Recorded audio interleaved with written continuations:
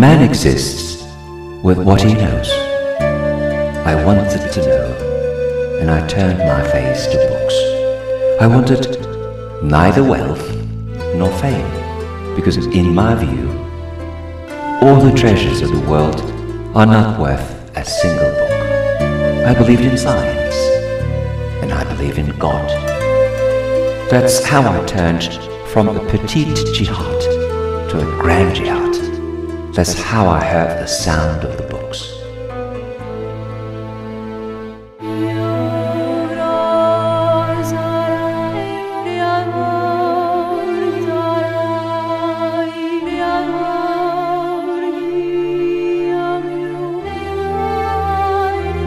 They called him Haji Khalfa in the West. He was the greatest scholar of the Ottomans, the ruler of three continents. He inspired his benighted people by his intellect, works, and knowledge. The story of life devoted to books is the story of his life. With the name he deserved, the scholar who speaks with books, or, as we know, Katip Çelebi's life.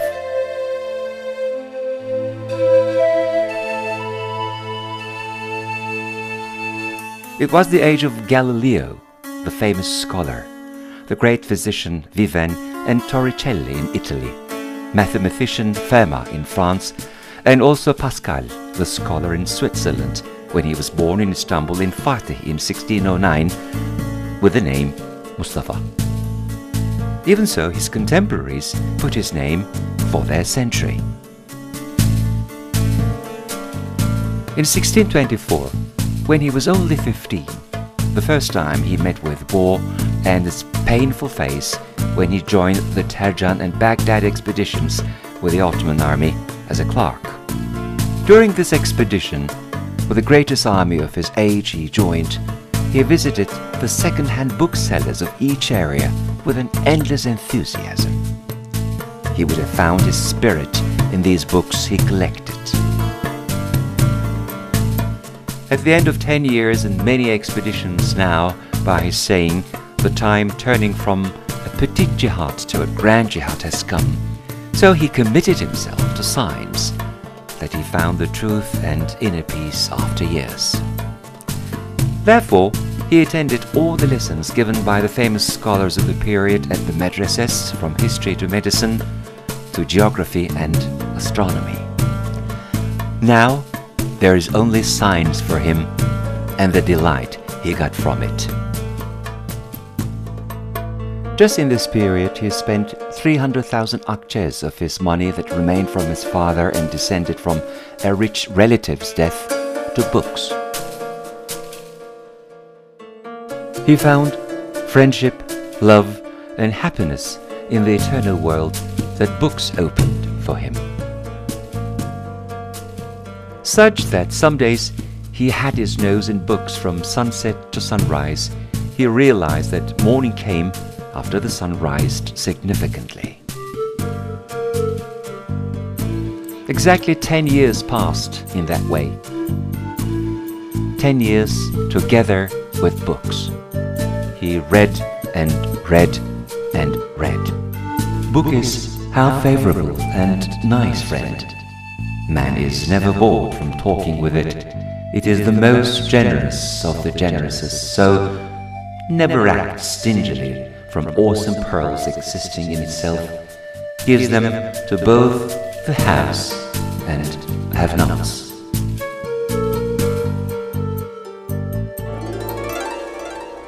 The famous historian Shehrazade tells the following story about him. One day, Katip Çelebi was a guest of Sheikhul Islam Yahya's mansion. After the conversation continued for a while, Yahya Efendi asks, Çelebi, it is said that there are books about Ottoman history over 1,000 in your house. Is that right? Çelebi answers, It is supposed to be so. But he felt from his eyes that Sheikhul Islam Yahya Effendi didn't believe him. The day after he loaded 1,300 books different from each other on 10 mules,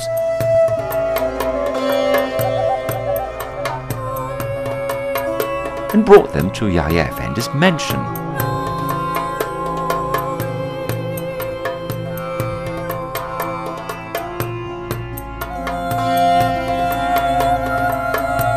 Yahya Efendi was surprised when he saw the mules loaded with books.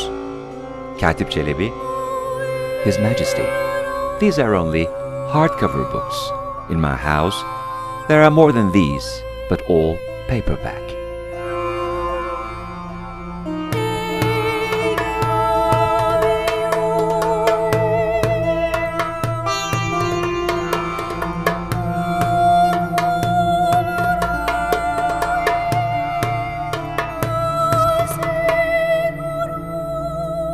Although the period he lived in was very difficult times, that the collapsing term for some institutions and its organs in Ottoman state and subversive Jalali rebels, the empire, and also raising the Islamic fanaticism started by Kadizadeliler, also outside, addition to negative reflection of the Crete War on economy of empire with the discovery of America, golds and silvers carried to Europe, drawing to crisis the finance of the Ottoman state, Katip Çelebi made a great contribution for destroying the Islamic fanaticism permanently by trying to inform the public and raising awareness, and committed himself to learn science, think, and create in all areas, from geography to medicine, history to philosophy, astronomy to physics.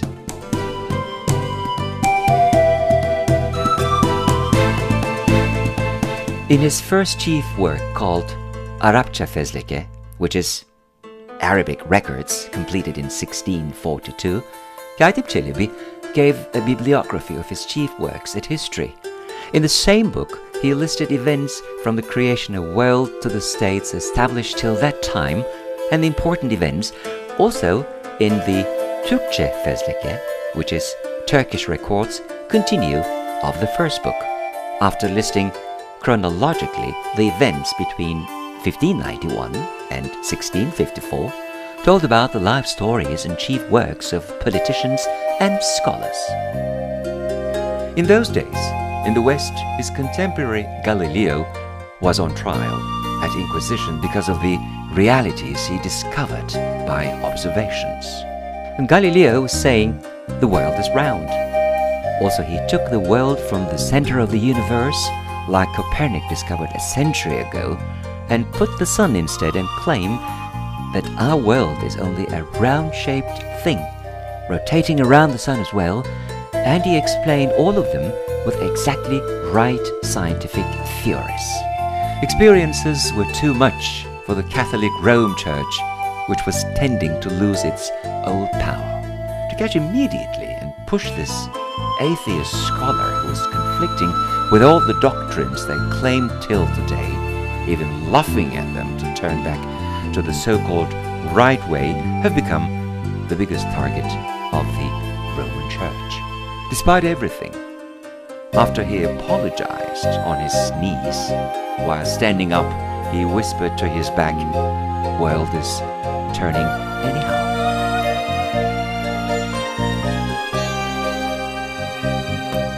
Katip Çelebi was supporting Galileo's this claim in Cihannuma et Ottoman, but he was not put on trial for leading arguments like those of Galileo. Because unfortunately, no one was reading them. In his third chief work, Takvimut Tevarih, wrote in this period, he also gave a chronology of historical events passed from the beginning of time to that time. This excellent chief work, influence within the state, Katip Çelebi assigned to Second Caliphate. My purpose in all my endeavor is the highest level and greatest happiness for persons is to know God, especially know where we came from and where we will go. In my opinion, science is an instrument to recognize God the Almighty. Location and position were nothing for him. Here, for this reason, he never departed from the truth he knew, and he said it without hesitation. When his nice qualification combined with his justice and intelligence, he was always effective on state administrations and the public. Rational solutions brought by discussions and type of taking the problems on his hand was admired by everyone. My only fear comes from God, the Creator. I have no fear of the created, whether they be rich or strong. Everyone is equal in my view, as in God's sight. He didn't hesitate to advise in Mizanul Haq even a sultan like Murad IV sitting on the supreme position of state authority. In my opinion, the befitting advice to Sultan, His Majesty, is that they may try to know about details of treasury, army, and public works, that belonging to his knowledge by contenting himself with religion and science subjects as much as knowing Islamic articles by performing religious duties and obligations. They may get lessons from status of states by reading history, like their elder ancestors. And learning of public customs and traditions, they may drive the old law of great empire with softness or hardness, whatever is the need of each age. Other politicians and notables of royalty may help their benefactors in that way and help to want their wellness as much as they can. In this period, finance of Ottoman realized that especially state finance has to be regulated for saving from the financial bottleneck, and the commission was assembled. Katip Çelebi was also invited to this commission because of the importance of his position. So he presented Düstur Amel, which he wrote for the purpose of informing the requirements to be done to regulate the failures to Divan. In my opinion, that the great Ottoman Empire is an unproductive period. Authorized people have to realize the signals of it and take measures. The sentences he wrote in his report are in a way principles that even today's politicians must take into account. Despite this, he knew very well that what he said in his book was going to fall on deaf ears. However, I know that my report won't be taken into account and won't be implemented. But my main fear is that God will say to me on the judgment day, You were a scholar of your country. Why didn't you see these failures and give the solutions?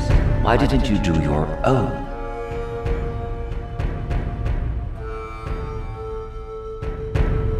At that time, I can save myself by showing my report that I did on my own. In one chief work of his, Çelebi explains Europeans' religions, kings, administration styles, and the issues they are progressing to next generations. Till we place the word democracy for the first time ever to literature with this chief work. Not only democracy, but also many new concepts about politics and science and history, such as monarchy, aristocracy, democracy, constitution, parliament, gentlemen, and academy entered the literature by Katip Çelebi's surveys.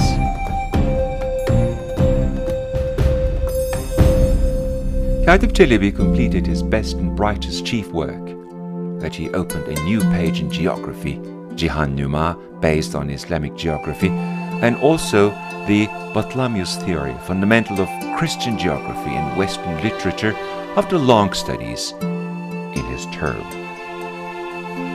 Although his first Cihannuma had so many maps including Ottoman Europe, Anatolia, Spain, and North Africa, before he arranged the book, the Mercator's Atlas he obtained prompted him to write the second Cihannuma. He benefited from Mercator's Atlas Minor and Cluverius and Lorenz, the Western geographer's creations on West, and on East from Old Arabic, Iranian, and Ottoman creations.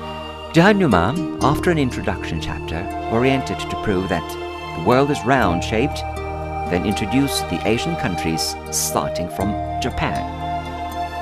In the end, he pointed that the information mistakes in Islamic geography came from not using maps. Thus again, he did many definitions over his time, especially with his excellent illustrations, universe model, and world maps, included exact definitions that can now be obtained with technical equipment. The work was one of the first printed creations in Ottoman times when it was printed by Ibrahim Müteferrika in 1732. It was translated into many Western languages, guiding scores of Western voyages for centuries. Some parts from Cihannuma. The name Europe reproduced from the name Europania, the beloved of Damascus and Maghreb sultans. Italy province is still the center of power and culture of Greeks. Portugal have some ideas to occupy coasts of West India, Hijaz, and Yemen. Alexander the Great didn't go on a world trip like the Islamic literature claimed. He only went on an eastern trip. The New World has an eternal wealth about valuable minerals. There aren't any claims honoring the higher authority as much as Japan. He left an age he recorded his name and creations of 27 behind him, when his short life that he fit many creations like these ended suddenly on a Saturday on October the 6th, 1657.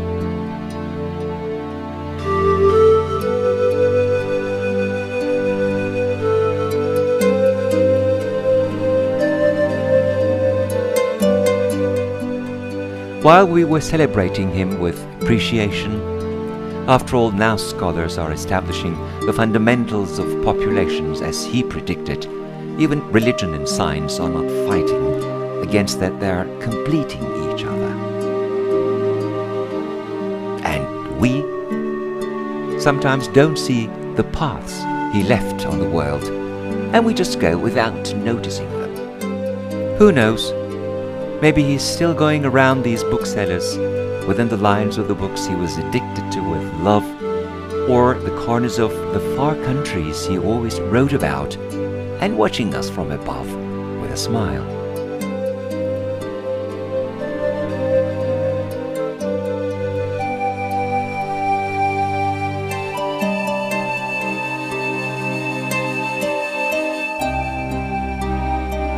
And as Katip Çelebi said centuries ago, the biggest enemy of a person is in reality the thing that they know nothing about.